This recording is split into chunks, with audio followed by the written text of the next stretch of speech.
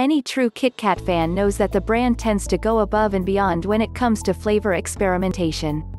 In Japan, where the chocolate bar reigns supreme, we've seen flavors like grilled potato, cherry blossom, blueberry cheesecake, and soybean. And now, right before the holidays, a treat for all whiskey lovers has arrived. A Kit Kat aged in Scotch whiskey barrels is launching this month, and we can't wait to try it. Named Whiskey Barrel Aged, Nestle's newest KitKat combines two very different worlds, yet two that pair together well. Created by renowned Japanese patissier, Yasumasa Takagi, the new KitKat seeks to capture Japan's huge whiskey fanbase, as well as the already large audience for unusual KitKat flavors. These will be available only at the higher-end KitKat chocolatory boutiques.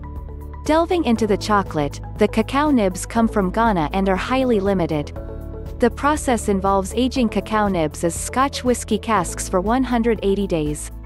The casks are rotated once a week to ensure that all the nibs come into contact with the interior surface of the wood.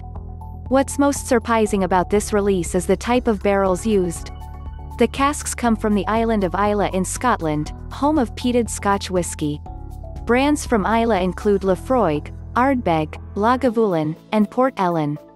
The expressions by these brands utilize peat, which is essentially decayed vegetation, when drying the barley. After the barley is broken down and distillation takes place, the peat imparts a very unique, smoky, earthy character to the whiskey. Islay whiskey enjoys somewhat of a cult following worldwide.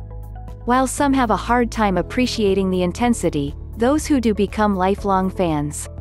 The choice of peated whiskey barrels in an interesting one by Nestle, especially when the new KitKat is exclusive to Japan, a market known for its love of smooth, subtle blends and single malt whiskies. In the past, two men, Masataka Taketsuru and Shinjiro Torii started Japan's whiskey industry. Torii with his company, Suntory, aimed to create smooth, elegant whiskies for the Japanese palate. Taketsuru, after living in Scotland, wanted to create punchier, peated whiskies, which he began doing at his own distillery, Yoichi.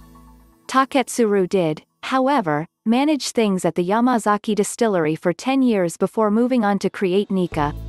To this day, the two companies, Suntory and Nikka, are the biggest competitors in Japanese whiskey.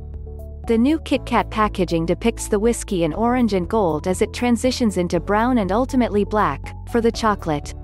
The tasting notes prepare us for rich bitter chocolate notes paired with subtle earthy notes and campfire smoke. The finish is stated to be long and satisfying, with abundant depth, unlike any other chocolate. As the cacao nibs used are quite rare, the release will only be available in winter, from December 15 at the 7 KitKat chocolatory boutiques.